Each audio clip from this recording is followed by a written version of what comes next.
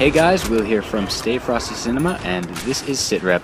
In this episode, we're talking about a possible glimpse at Call of Duty Black Ops 2's first DLC pack. A recent post showed a supposed promotional poster for the DLC pack, titled Revolution. Now, this pack has not been confirmed by Activision yet, and we can expect an official reveal of whatever the DLC pack may be very soon.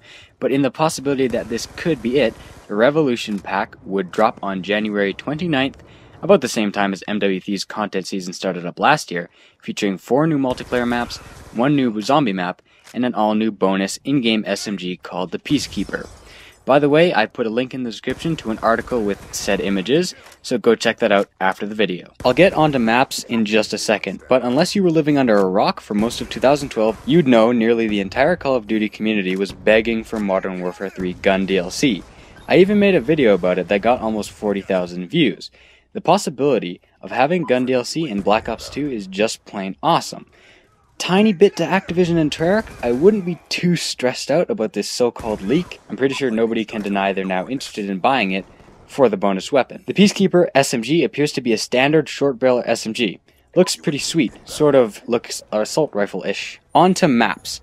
Now I've gotten into a sticky situation before with making guesses about Call of Duty DLC maps, so I'll keep it minimal and stick to the stuff that is pretty obvious. Again, no confirmations here, just speculation.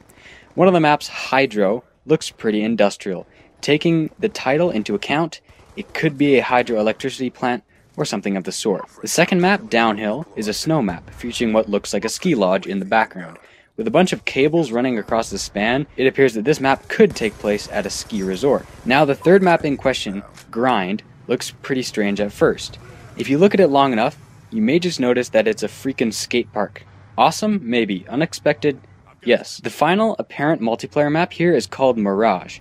It's easy to tell from the image that this map would feature a Japanese or Chinese village.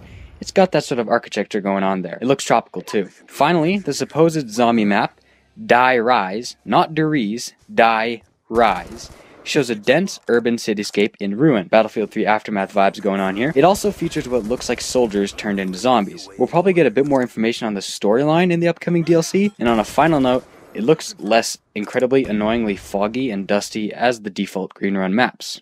So, those are my takes on the possible maps. Again, just me taking guesses. Nothing official here. But go check out the images and leave your thoughts and speculation in the comments below. Also, interesting question that I always get lots of feedback on. With the possibility of bonus weapons, what guns would you want to see in future Black Ops 2 DLC? Give your take in the comments. That's all for this episode of SitRep. Make sure to check out our other videos. Give this video a thumbs up if you're interested in this Revolution pack.